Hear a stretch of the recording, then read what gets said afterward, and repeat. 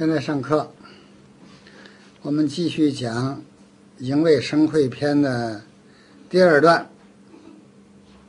八十六页最后那个自然段，也就是下焦。下焦之所处，岐伯答曰：“从部位上看呢，下焦者别回肠，而渗，而注入注入膀胱而渗入焉。”啊，这是下焦的部位，从回肠往下，别就区别划分，也就是说，下焦部位是从回肠往下，它注于膀胱而输而渗入焉呢，是说下焦所输出的津液是从回肠往下，而把它渗入到膀胱里边去，这是从部位上。在回肠，回肠就是小肠的下端。现在还有这个部位吧？现在解剖学也还有回肠那部位，那名称在小肠的下端这个位置。从小肠往下，小肠的功能我们在讲到其他的篇当中曾经提到过，它不有泌别清浊吗？这个，所以它呢，从小从这个回肠往下，它可以呀，泌别津液。泌别津液，渗入膀胱，是这样的功能。下边又讲水谷者，常并居胃中。水谷，水和谷，饮和食，水和谷，在胃里边上同并居胃中，同时混合在胃里边的。它成为糟粕之后，同时到达于下肠，到达于大肠。成糟粕而一聚下于大肠，都下到大肠里边。这个下边那句话“而成下焦，甚而聚下迹”，这几个字，教材有注释。这几个字是九个字，这九个字怀疑是眼文。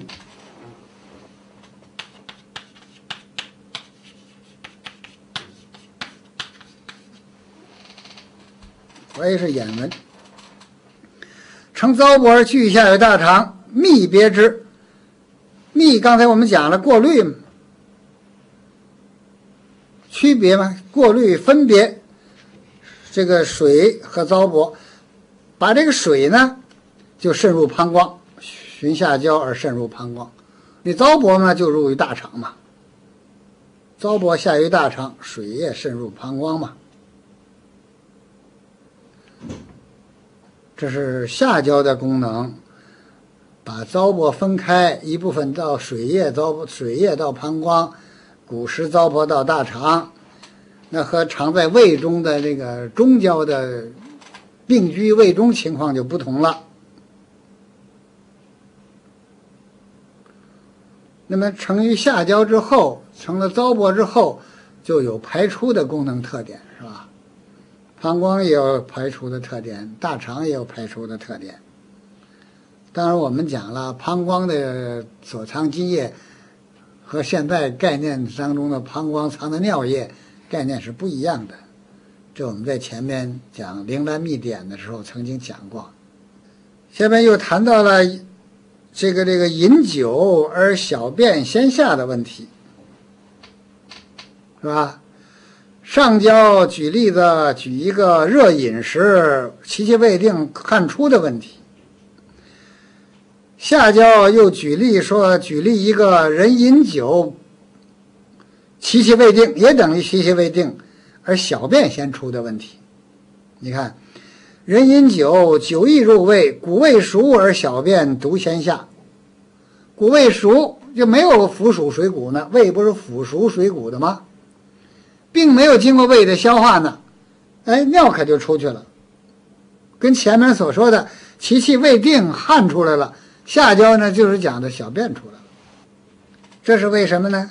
也就是说，喝了酒，酒虽然是液体的东西，但是刚到胃里头，并饮食物还没消化的时候，肯定水谷还没消化。为什么小便就先出了呢？齐伯回答说：“说酒啊和饮食物一般饮食物是不同的。”说酒者熟谷之液，这是经过制熟了，经过酝酿制了，经过酿制了，所以是熟谷之液，是谷经过酿制成为的液体。其气汗以清，这个清教材有注释，做滑，华丽的华。啊，教材的二十七注说甲乙丁以及太素均作华，易盛，这个意思做华的意思比较突好。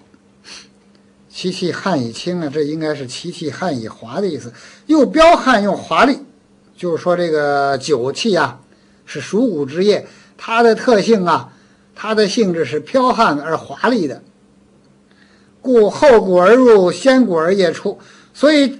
不但是同时又饮酒又吃饭，即使是后谷而入，后喝的酒，他也先排先排出来，后谷而入，先谷而液出嘛。因为什么呢？因为其汗已滑嘛。这说小便先下的问题。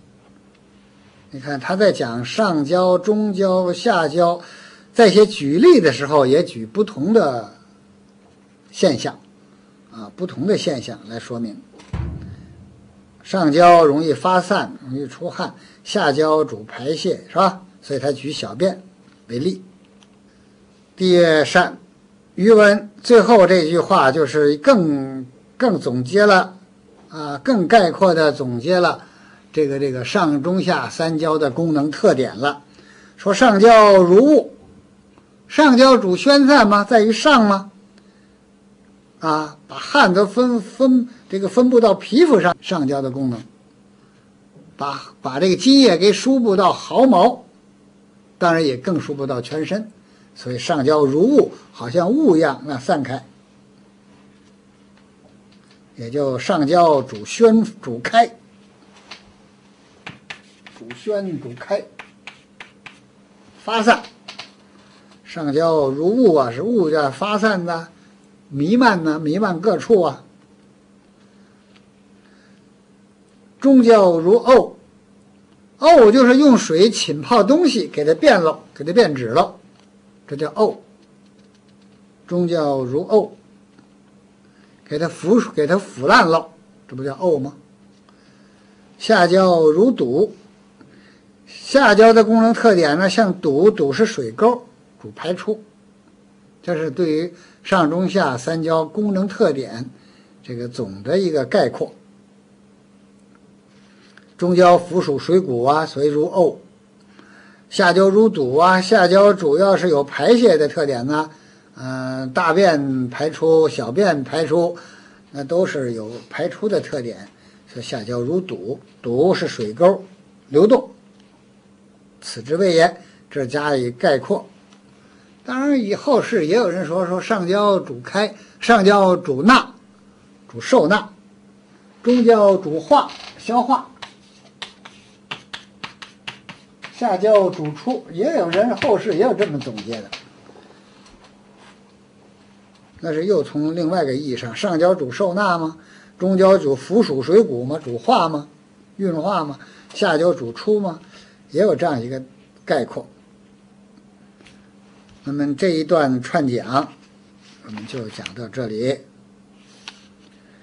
翻过页来，八十八页，八十八页临证指要呢，又提一下夺血者无汗，不汗者无血的问题。这个观点呢，是建立在血汗同源上，也就是津液、营卫、气血，都是水谷精微所化。啊，营卫之气了，营卫就是气，津液、营卫、这个这个血液，都是水谷精微之气所化的。所以呢，有一方面受伤，在病理情况下，一方面已经受伤，不能再影响另外一方，因为互相之间是相互影响，甚至于是相互转化。哎，有这样的特点，所以是。所以说，这是血汗同源，气化相通，因此说血与汗的关系是密不可分。换句话说，血液中有津液，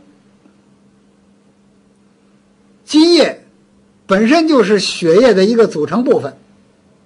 但是津液不单纯在脉里边，津液分布到全身各处。但是血中的成分就有津液在内，而汗就是津液所化的，因此说夺血者无汗，夺汗者无血，这个问题是非非常清楚的。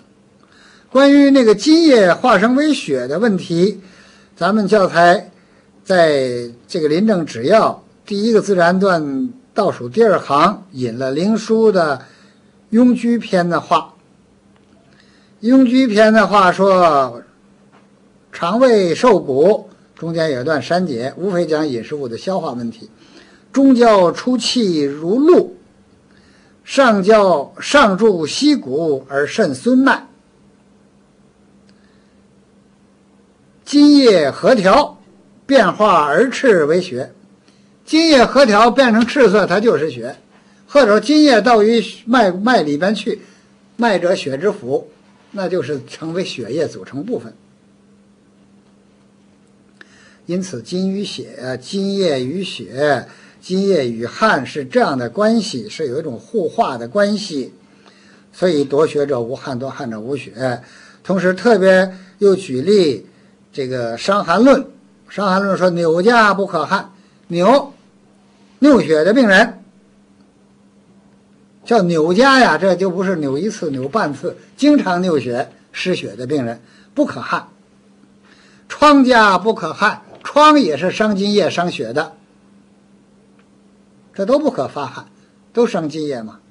又说亡血家不可汗，这更清楚了。无论什么原因，经常失血，哪怕痔疮经常失血呢，或者妇女的崩漏失血呢，这些个经常出血的病人。都不可用汗法。反过来，大汗出的病人也避免伤其血，不可枉用活血化瘀、刺勒出血等这些方法。所以这在临床上，这就是一个指导性的语言：多血者无汗，多汗者无血，是一个非常原则、非常重要的一个观点。这篇就讲完了。下边我们讲第八节《灵枢绝气篇》。绝就是分别、区别的意思，绝气就是分别、区别气血。因为这一篇是区分或者说是论述了六气、六种气、六气的概念。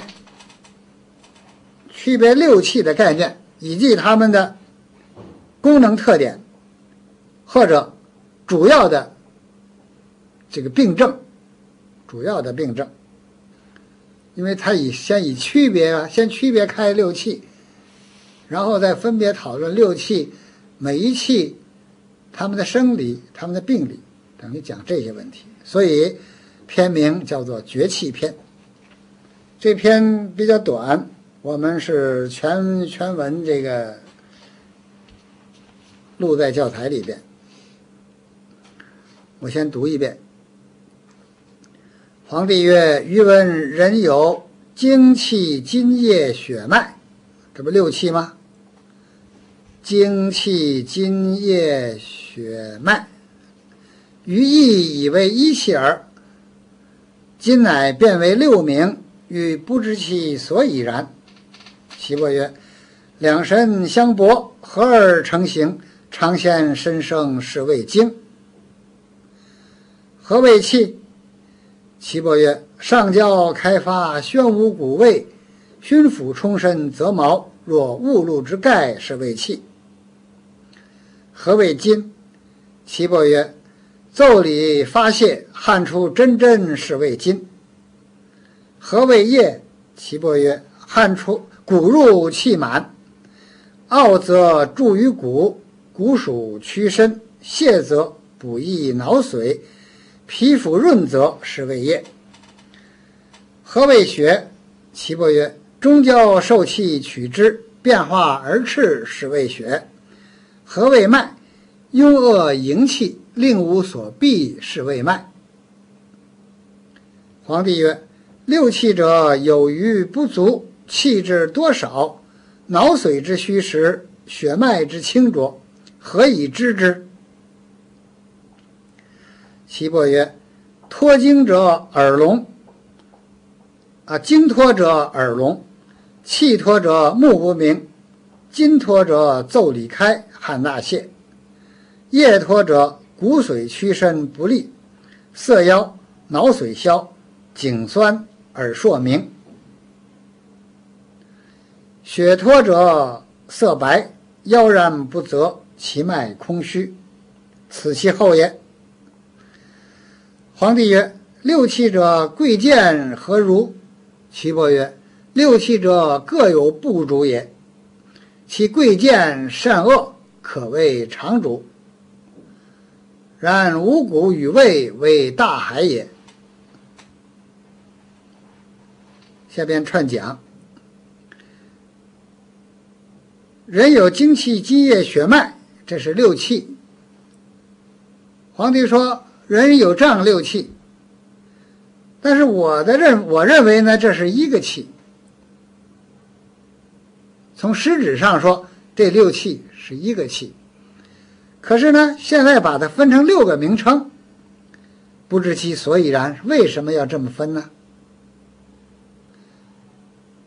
那么齐伯下边回答呢，就是说每一气每一气啊各有不同的特点，虽然是以虽然是一气，都是水谷精微之气所化，对的，但是呢又各有不同的特点，各有不同的功能特点，各有不同的这个这个病症的特点，它的病理特点，所以把它分为六气，等于是回答这样的问题了。说经有经的特点，或者说经的概念，在这里又定个概念问题，是什么呢？他说呀，这样的才是，这样的才是经。说两神相搏，两神是男女两神，男女两经，阴阳两性，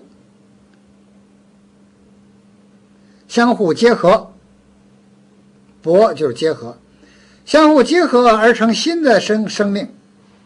婴儿产生婴儿，在这婴儿产生之先，尝先身生，那个就是精，也就是先天之精，男女生殖之精。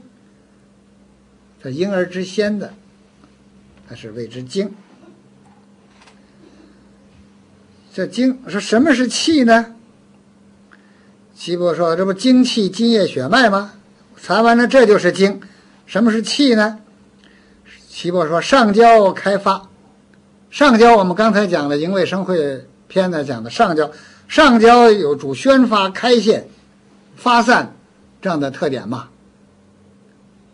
啊，叫宣发，上焦开发，宣散，宣是宣散，宣五谷之气味，也就是宣散津液。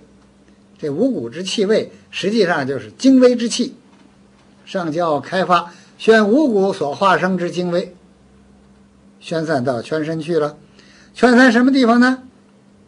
起到什么作用呢？有熏腑、温熏是温煦的意思，温煦着皮肤，充身充斥全身，全身各处都得有这个水谷所化生的精微之气。泽毛润泽着皮毛。若雾露之盖，好像自然界的雾和露那样灌溉着大地。若雾露之盖，弥漫布散各处，是为气。说这个就是气。上焦所发散出来的这个五谷精微之气，能够布散到全身各处，表里内外。好像自然界的雾露那样弥漫各处，滋养温煦全身。说这就是气。说那么金是什么呢？岐伯说：奏里发泄，汗出真真是为金。奏理开发的时候出来那些个真真而出那些汗，那就是津液所化的。所以刚才我们讲前面说多汗者无血，多血者无汗，引了这句话说汗出真真是为津。何为液呢？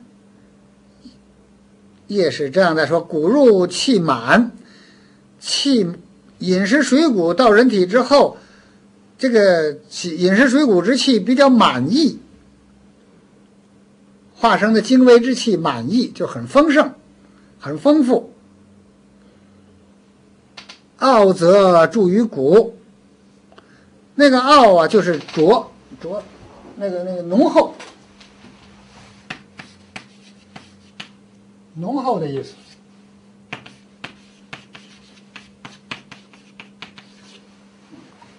啊，浓厚润泽，有浓厚润泽的这个特点的水谷之气，注于骨，啊。输入到于骨，输入到于骨之后呢，骨属屈伸，属是连接的意思。骨和骨连接的地方，那当然是关节。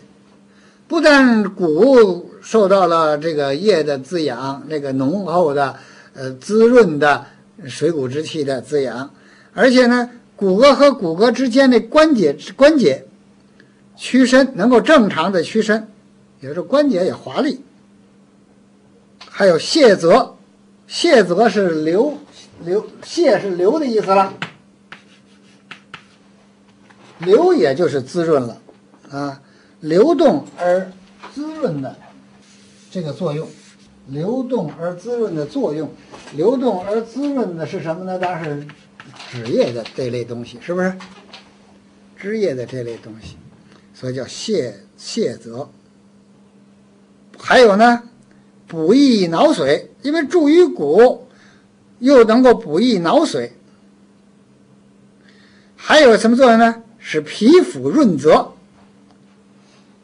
这这些个功能，水谷精微之气所化生，水谷精微所化生之气发挥这样功能的，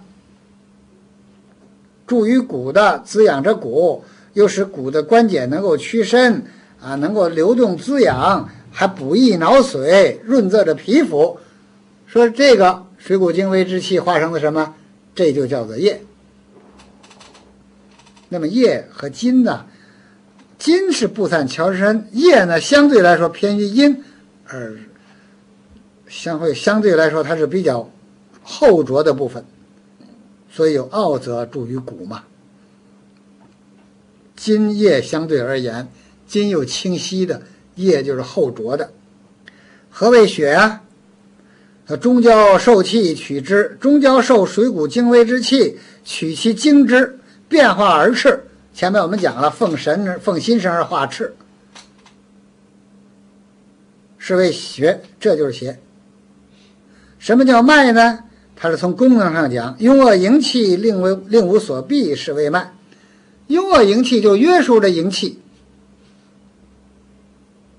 营者血之气，其实拥啊，就约约束着气血，约束着气血，令无所避，让他不能逃避，按照一定的轨道循行。这是什么？这是脉。换句话说，是脉的功能。这是讲的功能。什么功能呢？它有约束着气血营气，能够按照一定的规律运行，不要让它随便的跑掉。啊，不让它失常，这就是脉的功能特点。所以这样的几句话呀，“拥我营气，令无所避”以及最上边这这一段话呀，是非常重要的，要一定把它记熟了。什么上焦开发，宣府虎胃，胸腹冲身，泽毛若乌鲁之盖，这就是气；汗出真真是胃津，啊，等等等等，这这一段话应当是。记熟了。下边第二个自然段：六气者，有余不足，气之气之多少，脑髓之虚实，血脉之清浊，何以知之？说怎么样才知道这个六气是一种有病的情况呢？是一种病理情况呢？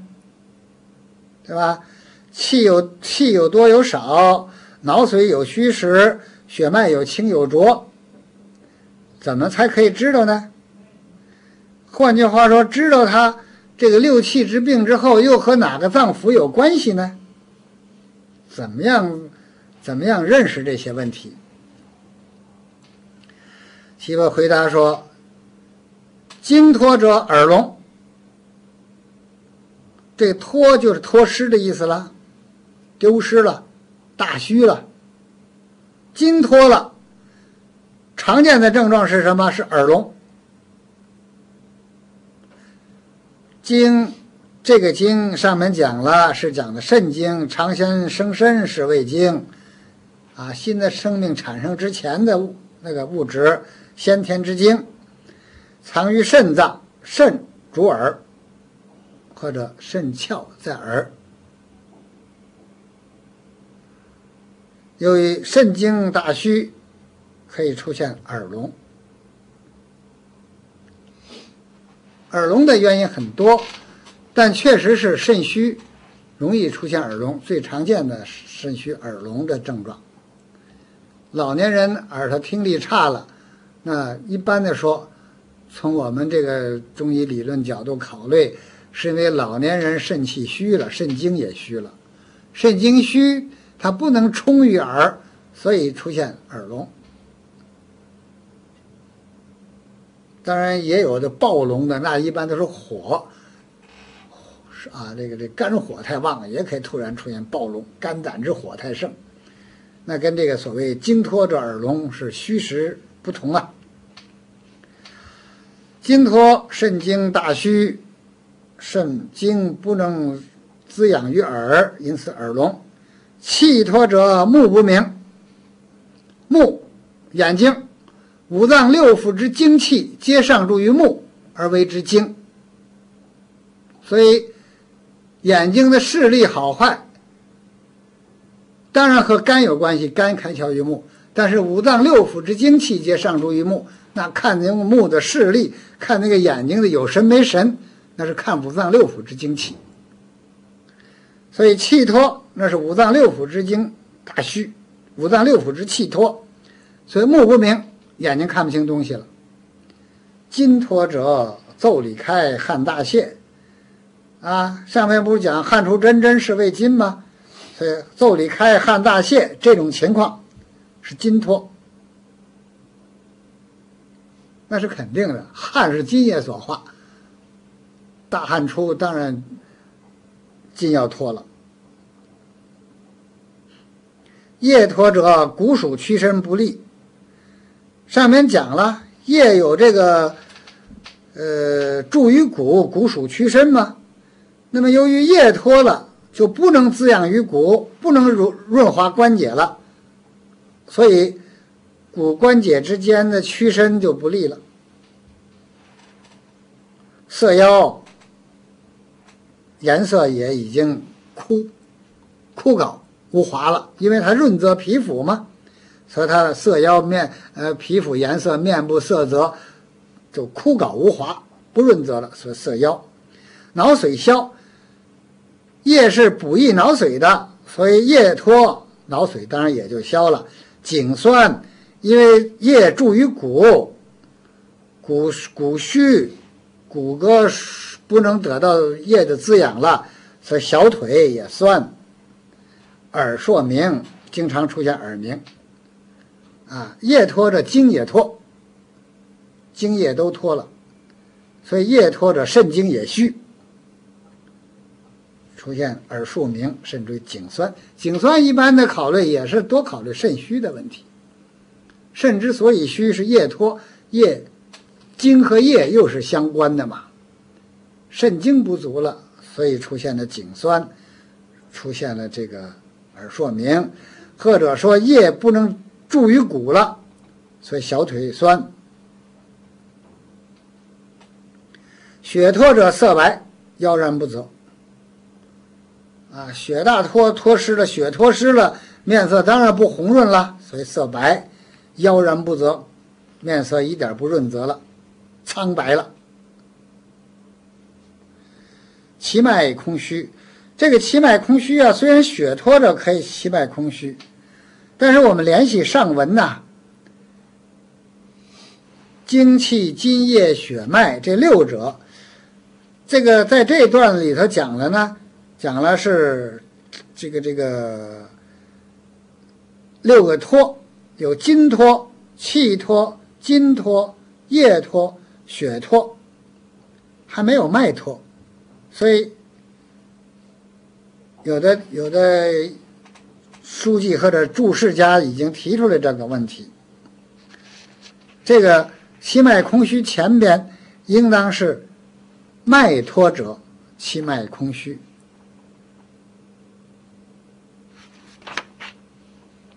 啊，我们在教材的二十注上，就是九十页第二十个注上，也看到，在七脉空虚前面甲乙经。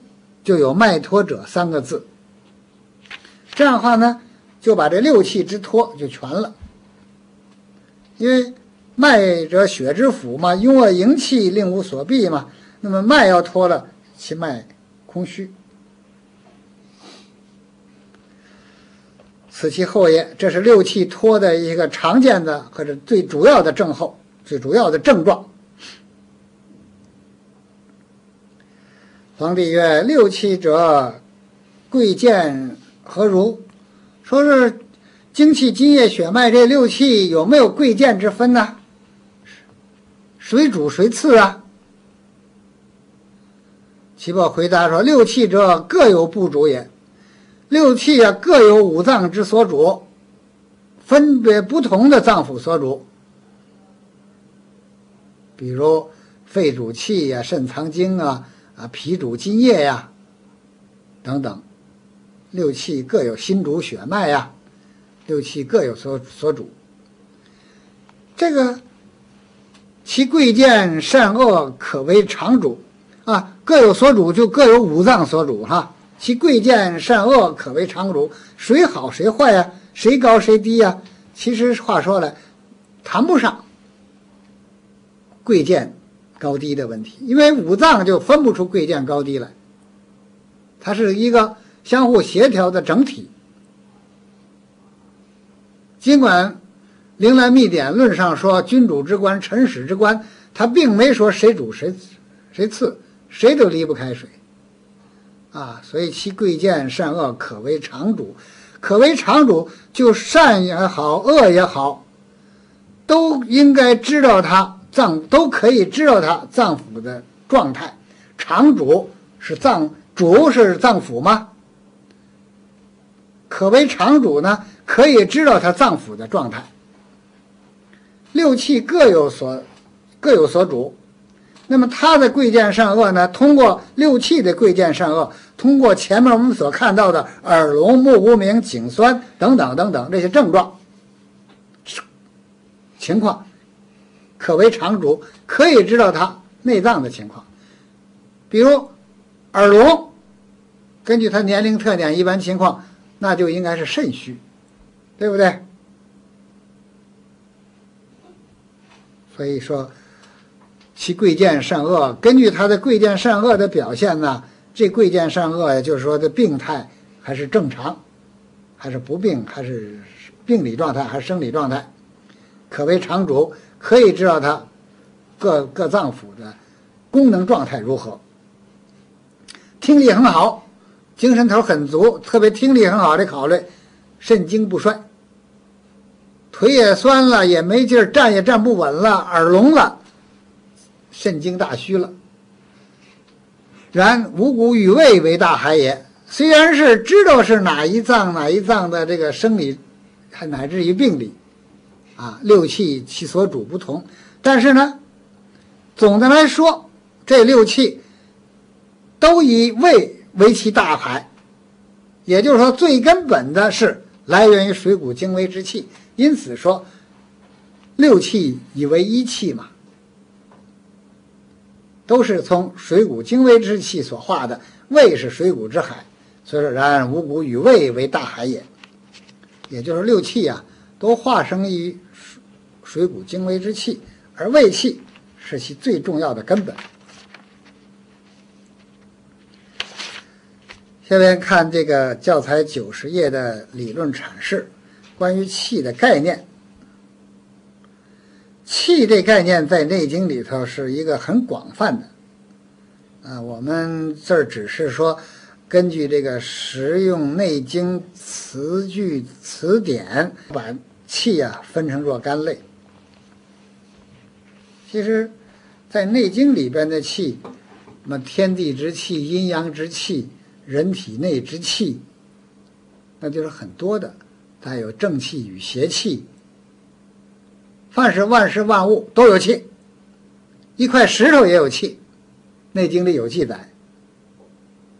所以一块枯草、一块断草、枯草也有气。啊，《素问·奇病论》上有吗？说芳草之气美，食药之气汗，那不是讲的草吗？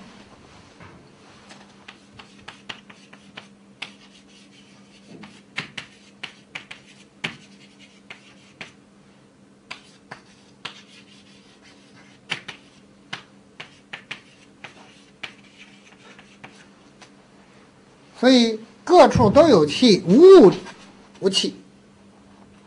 只不过说气跟气不一样就是了。所以芳草之气美，食药之气汗嘛。生有生气，死有死气，不同的气。因此，在《内经》里气的概念非常广泛。具体的在这儿呢，我就不谈了，大家可以参考一下，参考一下这个教材了。第二个理论阐释呢？是讲了个津液的概念及其与经血的关系。这里头第一个小自然段，就是第这个理论阐释二的第一个小自然段，是讲的阴阳清浊，它的性性质。津液呀、经血呀，在性质上有阴阳清浊这样的不同。在分布上有表里内外的区别。这个第一个小自然段主要是讲这个津液与经血呀，它们的区别在于清有阴阳清浊，在分布上有表里内外不一样，对不对？你比如液就偏向于里呀，筋就偏向于表啊。那么血呢，行脉中啊，精是藏于肾脏啊。津液相对而言，那个津就属阳，液又属阴呢，所以金就清，液就浊呀，这相对而言嘛。所以这段是讲的这个问题，阴阳清浊，表里分布不同。第二个小自然段呢是讲津液的互化，啊，第二个第二段呢上半部分讲的是津液互化的问题。津液互化，精血互化，津液又化生为血，所以津液到于脉中，那就是血液组成部分。一个是讲的互化，另外一个讲的这四者津液、精血四者的功能上也不一样，有一定的区别。那所以呢？这个第二段的理论阐释啊，是谈了这样的问题：积液的概念与其经血关系，主要讨论这样几个问题。临证指要，临证指要讨论了这样提了这样这个，主要讲了这样两个问题：一个是经脱者耳聋，这个经脱主要是肾经亏虚，肾经耗脱。脑髓空虚，所以出现耳失其养，没有津液滋养了，没有精的养了，所以出现耳鸣。这个因此在治疗这类的病的时候呢，补肾的方法是常用的，因为讲的是经脱的耳鸣嘛。那肝火那当然不算，这一上火一着急生气，耳朵聋了。那赶紧泻肝火，那是另外一回事。那急的暴聋。那么这种经脱着耳聋、肾经亏虚的耳聋，要用滋补肾的方法，滋补肾阴的方法。这也提出来，一般可用六味地黄加减，酌情可加入柴胡、此时。加柴胡的意思是属于柴胡走为肝胆经，因为胆经绕耳，绕着耳朵走，所以加点柴胡呢，让它引经，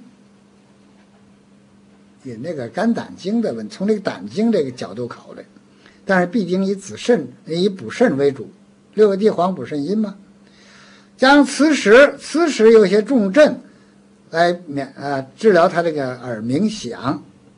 免得他那个虚火，免得虚火生。有一个左慈耳聋丸，左慈耳聋丸呢，主要是六味地黄加磁石啊，还可以加柴胡，叫耳聋左慈丸，就是取的这名字嘛。左慈不是三国时候的一个名医嘛，以这个医生的命名吧。加上这个柴胡呢，是为了和这个和这个磁石呢，是为了疏肝镇肝，同时说还可以加上一些滋阴的药，益益肾气，枸杞子、肉苁蓉、人参，这补气补肾，同时又可以说用些开窍的药。治疗耳聋的话，比如这个菖蒲远志，因为在《内经》里头啊，耳的问题啊，确实有肾开窍于耳说，又有心开窍于耳之说，对不对？说肾开窍而阴，心开窍于耳，所以呢，用开开心窍，这个石菖蒲远志化痰开窍，开窍是开的心窍。所以从这个理论思路上以及临床应用上，这些呢是提供参可以可以注意的，可以提供参考的。当然，我们临证只要也说了，耳聋的原因是很复杂的，有九聋有九暴，一般病有虚实，这是讲的耳聋虚实的问题。那个其实啊。有的好治，这个暴聋的好治，相对来说吧，那个九龙肾虚的九龙确实很难治了。尽管我们提出很多方法，供仅供参考，还是值得很好研究的事儿。特别是那个九龙啊，那是应当有一个这个医学知识教育宣传的问题。不要等已经聋的听不见了多少年了，那再治，现在看来是非常难了。已经有一些耳背了，所以年龄大叫耳背了，那赶紧治，效果还会好一些。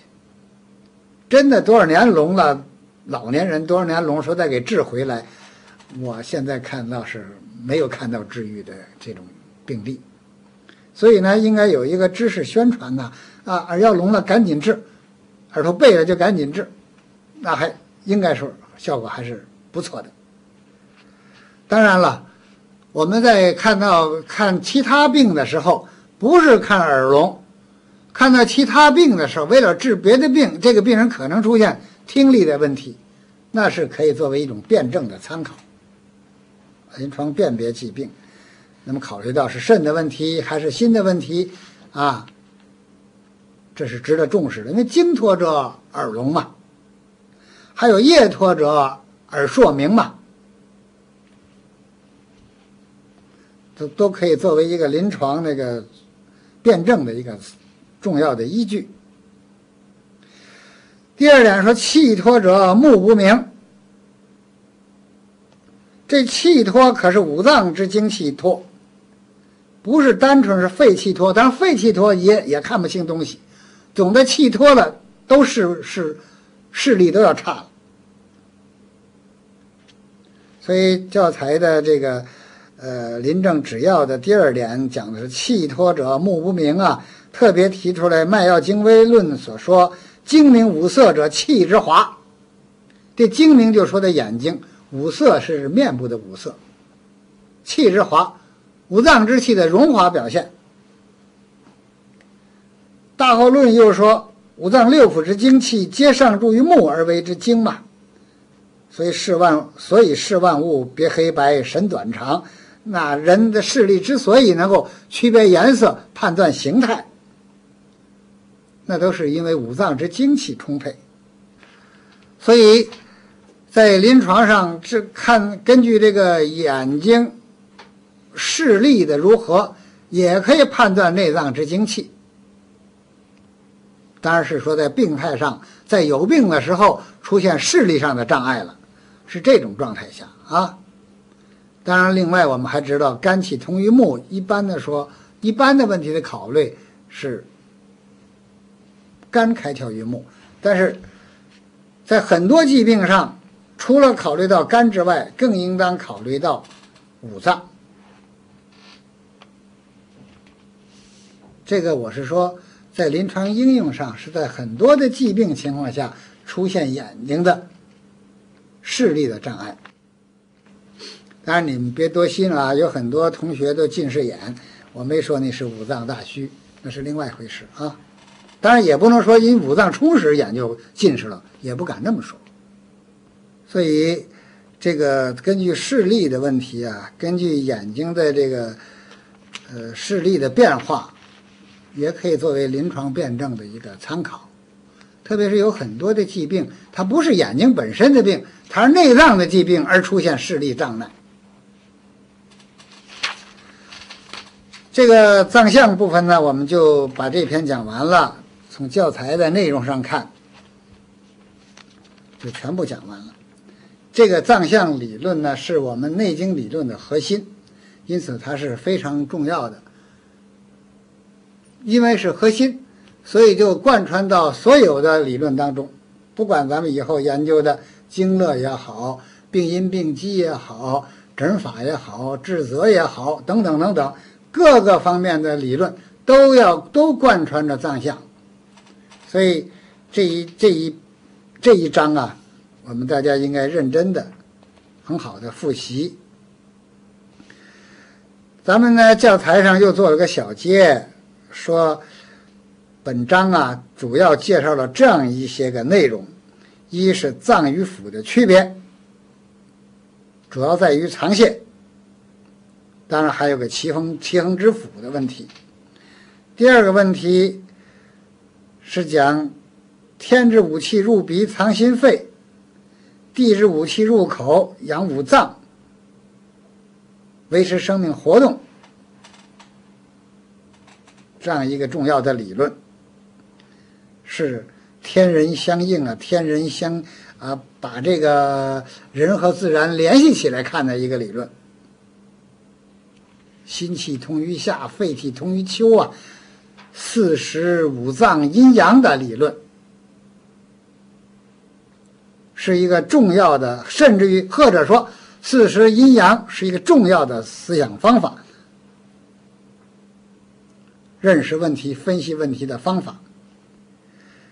第四个问题又提到了强调脾胃不主食的问题。强调脾胃不主食，其实是强调了后天之本的问题。第五是上中下三焦的特点以及界限划分。第六呢，五脏所藏精气，五脏藏神，五脏藏神的问题。五脏藏神就是我们中医理论特点。中医理论特点从哪来的？就是从《内经》来的。所以必须认真的学习，认真的理解，才能认识很多的中医理论问题。不然的话，你这个这个理论不理解，临床用药就没有办法用。第七个问题是讲了六气的概念，精气血、津液、血脉，这些都是非常重要的东西，必须很好的理解和掌握。这个藏象问藏象这一章我们就讲完了，下课。